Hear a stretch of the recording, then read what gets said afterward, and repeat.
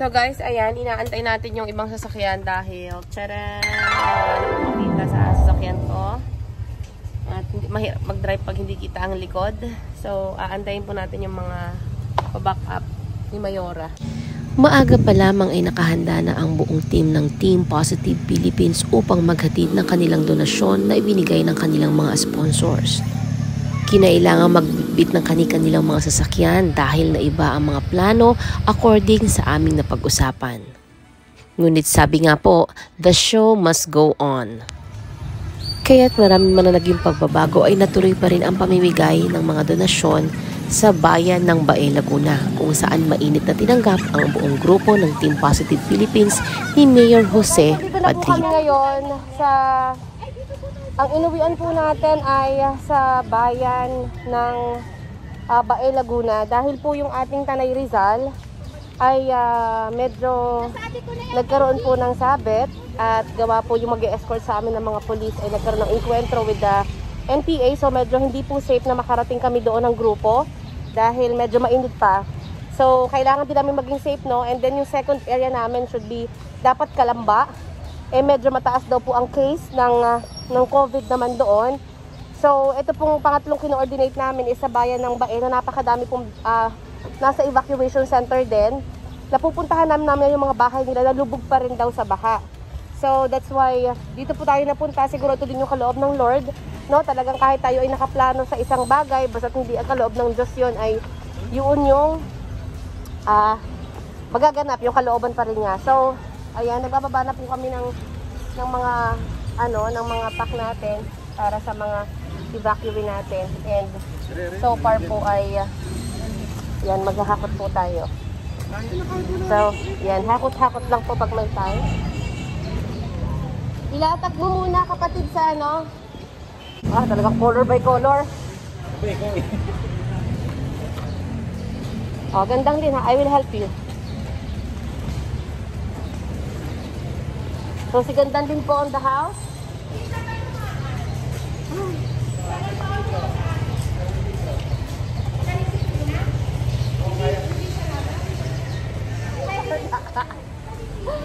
si Brady hindi po ito nagbubuhat. First time po niya magbuhat ng mga ganyan. Ah, ito din po si Ate Nico, hindi nagbubuhat yan. hindi nagbubuhat. Nagkakabubuhat. Ayan, so guys, habang naglalapag tayo ng mga ano, ng mga pang-donate natin, is busy-busy po ang Team Positive Philippines. At talaga pong, ito, ayan po, ito po yung pinaka-highlight. Kita nyo po naman, di ba? Naka-heels pa po yan. Mano-mano. hindi po yung nagbubuhat. Ayan. Brainy, ano, masaya ba? Masaya, nakakapag-exercise, di ba? Mag mag-alis ng taba. Ito po yung, nag, ito po yung nagko-community service pero naka-heels. O, di ba? O, ano sabi mo dyan? So, guys, I think tapos na. Yung kay Doc. Ito po si Annalie Parole Vlogs. Kapagod din sa paghahakot. Hello. Pinagpawisan. Kayang-kaya niya. Yan.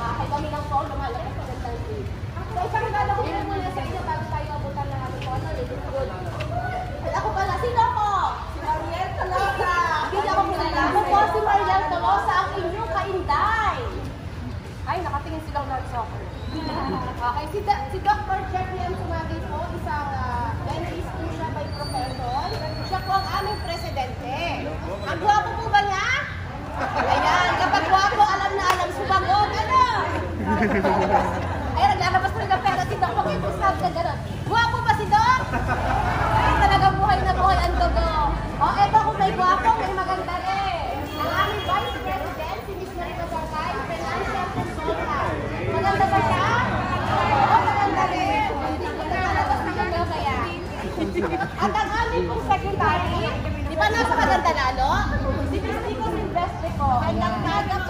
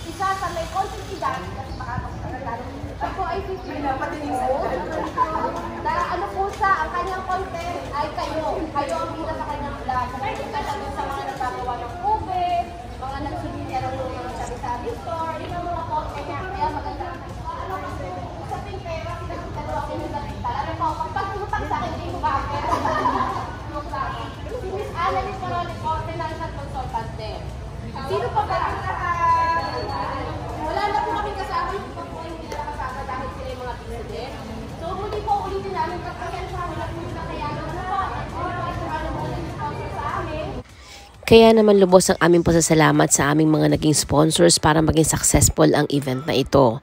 Maraming salamat po sa Dang's Fresh Tilapia from Talisay. Maraming salamat Blendy. Maraming salamat Lemonfield Salon. Maraming salamat sa Vanyagale family, kay Sir Totoy, kay Ma'am Cathy at kay JC.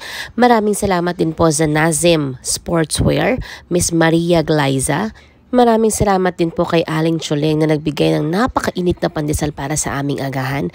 Maraming salamat kay Miss Ninyarada ng SM City San Pablo. At syempre sa buong suporta po na ibinigay ng aming simbahan, ang The Church of Jesus Christ of Latter-day Saints. Maraming maraming salamat po.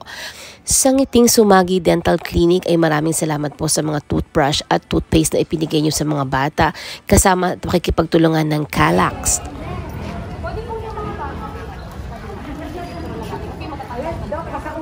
Kasaulo mo yung pitong gabay.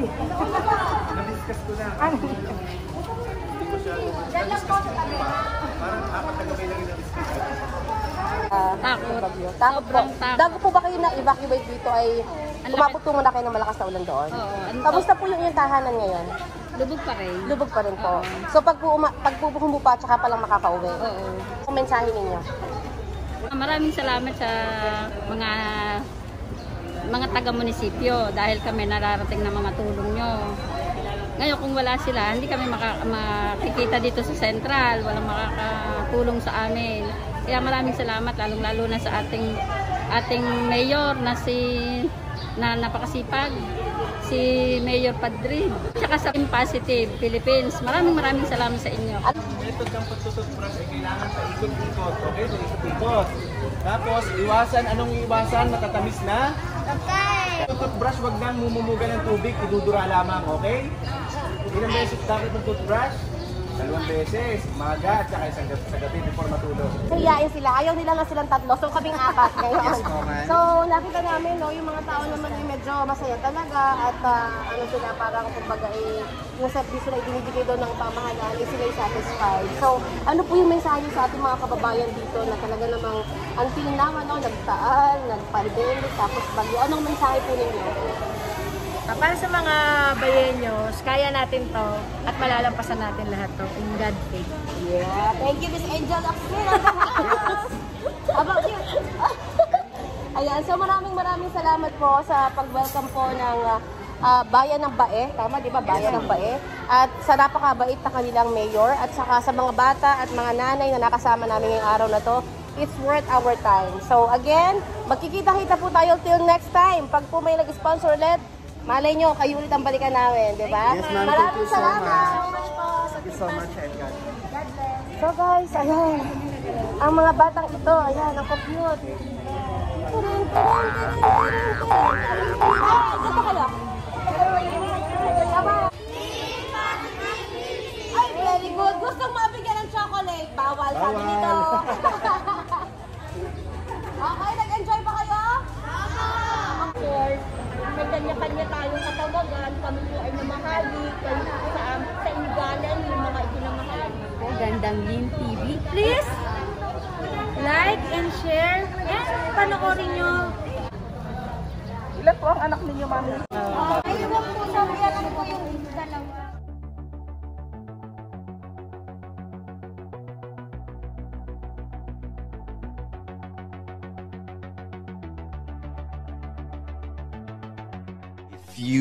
Minutes later. Aapaw nga dito yun kasi ito pa lang siya. oh, Wala nang bagyo yan ha. Ay, ang taas pa rin niya hanggang ngayon. Ilang araw na mula nung nag-release. Eh. So, ibig sabihin, hinagip tong mga bahay na to. Apo. Hanggang po. Plan sila nag-evacuate. Yung pong bagyong Ulysses. Kabagyuhan na mismo. Kasi nag-ano na So, po guys, kami, evacuation na po kami ng before. Ayun, before, before nag-evacuate. Yung mga bahay na yun nasa may maliliit na dulo kasi medyo tubig na po yan tsaka itong dinadaanan namin tubig na siya. So doon po yung mga nakatira, yung mga taong dinila natin ng tulong kanina. So why we want to go here na makita ng actual para po makita ninyo na dito po sa bayan pa lamang ng Laguna ang dami pa rin po talaga nangangailangan ng tulong dahil hindi ito yung hindi na napuntahan, ito yung mga hindi nag-trending. Dahil ang mga nag-trending yung Bicol, mga ganyan. Pero ito oh, ayan, may nalangoy pa ng mga bibe. 'Di ba? So, ibig sabihin, dito po ay marami pa rin talaga nangangailangan sa atin. So, sa mga gusto pang tumulong, ito po yung sitwasyon ngayon, no? yung mga bahay na lumubog. Ayan, mataas-taas pa po ang tubig kita ko. Ayan, no? ayan pa yung sa simento. At may nalangoy ng mga bibi. Kita niyo ba yun? So, ayun yung mga bahay daw nila na apektado, na talagang lubog pa sa baha. So, hindi na kami masyadong papasok din ng sobrang matindi kasi baka paluin ako ng mga nandun sa likod. Pero, ito po yun, yung sitwasyon ngayon dito sa bayan ng Bae. Ayan o, ito! Ayan! Oh my goodness! San Isidro. Tag- Tagumpay na po ito. Ah, Tagumpay. Ayan! Ito po yung bahay na pinasok! Ayan, yan sila. Diyan po galing yung mga ano oh. Medyo ano na yan, ah, hanggang binti siguro. Hindi na po kami bumababa ng sasakyan kasi po ay, ah, ayan, tinan mo oh, malalim-lalim na to. Medyo bumaba na nga eh. Bumaba na daw po ito ha mula nung nag-ano. So, Ano nga pong barangay, sorry? Tagumpay po. Barangay Tagumpay. Oh, magtatagumpay din po ito. Yes. Okay. Barangay Tagumpay dito sa Bae ay bahang-baha pa din. Ah, pero yung iba hindi na umaalis, no? Yung iba hindi na po umaalis, no? Ito, oh. Opo, medyo mataas yung bahay nila. Okay, hindi na abot masyado. Pero yung iba talaga, abot sila. So, ibig sabihin, wala, ito po, wala silang magagawa talaga kung di lumikas. Meron po tayong pagpapaikutan dito. Ako, kakaliwa po tayo. Doon tayo pupunta doon. Doon sa General Hospital. Hindi naman po lulubog ang sasakyan Hindi ko. naman. dito sa Antonio na lang. Ah, okay. So, may labasan to. Okay. So, buti na lang po may tour guide kami. Kasi kung wala. Yung coastal area, papakita po namin sa inyo. Okay. Ayan guys, ito yung ano, ito yung area na lumubog na talaga. May yung mga tao ay kailangan ng dalhin sa ano. Babae. Bahay ba yan? Hindi po. Ah, bahay. May totoo eh. Baka nawalwal na lang. Ayan, bahay siya. Oh. So guys, dito kami. Ate, anong barangay nga to? Let? Barangay Tagumpay. So, nandito po kami sa Barangay Tagumpay kung saan yung mga tao po na binigyan natin kanina ng relief good doon sa elementary school ng Bae ay dito po nakatira. So, ito yung sitwasyon nila na medyo, I think, mga bibilang pa to ng ilan. Kasi po, ito ha, mula dito sa floor na pinaglalakada namin, wala nang tubig. Wala, pan, wala nang tubig. Pero dito po sa may banda rito, ayan. O, ako lang ay naka- Palalim yan, ma'am. Pa, ano na. So, gusto ko po sanang sugudin to, kaya lang eh, naka-rubber shoes po ako. So, ito siya ngayon, guys. Ayan na siya. So, ibig sabihin, nakapasok na. Talagang meron pong tubig. So, ito sila ngayon. O, kasi mataas din dahil yung tricycle, eh, lubog na yung gulong. Ayun sa may dulo, oh. So, ibig sabihin, ito po yung sitwasyon ngayon ng mga kababayan natin sa ah, bayan ng Bae. So, hindi po kasi masyadong na-highlight ito dahil ang ano nga po ay yung mga talagang nasa bubong na. Pero dito po ang mga kababayan natin sa Bae ay nangangailangan pa rin ng mga tulong at suporta dahil po maano pa rin, no? Ma, maano pa rin, matubig. So, lalo na siguro dun sa may dulo no, no? Hanggang sa ano, siguro hanggang bewang. Residente pa po diyan. Ayan po. Yun po yung mga dinala nga doon. Ayun na po. Binigyan po. Opo, yung pinakadulo doon, yun na yun. Sila na po yun. Nahati bali, sir, kasi meron dito, ay, dok pala. Dito sa Central at saka sa Galvez, meron din tayong evacuees doon. Dadaanan natin mamaya. Ito po yung barangay. Ano pong barangay? Tagumpay. Tagumpay. Po. Puno ng barangay Tagumpay. Puno ng barangay Tagumpay. Pero ito pong, eh, nag-improve na po yan yung bahay yes. na.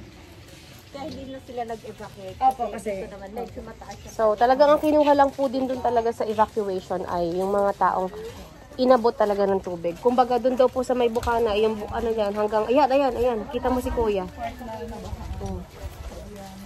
So, hanggang ano siya, binigay. At ayan po ang sitwasyon po dito sa Barangay Tagumpay, Bae Laguna. At uh, nag-improve naman na ba po yung ah, Talagang evacuate. Mhm. Pero kita niyo po sa bukana pa lang, oh, hanggang ano na siya, binte. Tapos habang tumatagal si kuya, yun, oh, lumalakad, parang maabot na sa may short niya. So, ibig sabihin talagang malalim. another na lupa doon sa likod ng sementeryo. Ando doon naman yung iba. So, ibig sabihin, nasa more or less 400 families Ah, pa rin. kasi merong isang lote, nagkakadalwa ng bahay. Ah, opo, opo. Tatay, ano po ang ano, gusto niyo pong ibigay na mensahe? Kayo po ay hindi na nakasama sa mga in-evacuate. Ano po, doon sa evacuation center, kasi po ay hindi na nadamay. Ano po ang mensahe niyo doon sa mga kababayan niyo o kapitbahay niyo na nandun ngayon? Eh sana naman huwag abusuhin yung mga eskwelahan. Gawa ng kagaya, kagaya pa ako isang barangay tunod, kaya kami napipilitan dumuti. Yun ubang mga desk, eh, ginagatong pa nila. Tapos yung mga gamit doon, dapat pag malasakitan man nila, hindi pag-aari ng gobyerno. Ayan ang bai. Ngayon po, masasaksihan po natin at makikita natin kung ano pong kalagayan dito. Simple man ang nasabing aktibidad, ito naman ay talagang pinamunuan at pinangunahan ng aming presidente na si Dr. Jeffrey M. Sumagi upang maibahagi ang napakagandang aktibidad para makatulong sa mga kababayan natin sa bayan ng Bay Laguna. At mula po sa aming mga sponsors na talagang taus-puso nagbigay ng kanilang tulong, maraming maraming salamat po. Muli, ang Team Positive po ay inyong makakasama sa mga panahon na kayo po ay nangangailangan, kami po ay magiging daan para maipahatid ang tulong na nais nyong paabot sa ating mga kababayan. A little longer than a few Sa minutes ngayon, later. yung mga sa ngayon, may tubig pa kahit sa bahay, meron. Pero yung din those affected, uh, nag kinaiam namin sila sa evacuation centers namin. Dahil kasi gawa nga ng ano eh, ng uh, iniiwasan namin magkasakit sila, gano'n. So, yung mga mga family bata. po na affected talaga pong hindi ligas na Oo, po pero hindi na iiwan, ba? Head of the family, naiiwan sa bahay nila. Ah, okay po. Pero mostly, nandun sila, suportado naman na. Hindi naman po nasira yung mga bahay, baha lang po. Baha, merong mga ilan ilan, ang bubong, gawa ng hangin, gano'n. Kamusta naman po yung araw-araw na napag-stay dun sa evacuation Okay center? naman po, kasi nakamonitor ang aming RHU, nakamonitor ang DSWD, may mga staff kami naka-stay sa ano mismo. Mhm. Mensahe po ninyo sa inyong mga kababayan dito po sa bayan ng Bae. Well, uh, sa ngayon medyo tiis lang tayo, pero mananampasan natin ito. Ang kailangan lang natin ay kooperasyon sa bawat isa. Kung ano ang pinatutupad ng pamahalaan bayan, dapat susundin nila. Yun lang naman, at uh, kami naman sa pamahalaan bayan ay naandito para kayo ay suporta at hindi namin kayo pababayaan. Salamat. Positive Philippines, labis-labis po pasasalamat namin dahil sa panahon ng pandemya, nabuo kayo upang tulungan ang ating mga kababayan, hindi lamang sa bayan ng Bae, kundi sa hanggang maaabot ninyo ay tinutulungan ninyo. Nabalita ko na rin kayo at salamat naman at ang bayan ng Bae ay inyong binigyan ng pansin. Dahil dito sa aming bayan, may mga evacuees nga kami na tinutulungan at yung tulong ninyo ibibigay sa amin at suporta, napakahalaga, yung moral support na binibigay nyo sa amin sa pamahalang bayan. Kaya congratulations at maraming maraming salamat sa inyo. God bless you. Sponsor sa Team Positive, maraming salamat po sa inyo. Mabuhay po kayo. At ah, alam ko na yung ibabalik sa inyo na siksik, ligdig at buong buo na ibabalik sa inyo ng ating Panginoon Diyos na pinakita ninyo na sa panahon ng ganitong pandemya ay hindi kayo nagpapabaya sa ating mga kababayan. Maraming salamat. Maraming maraming salamat po, Mayor.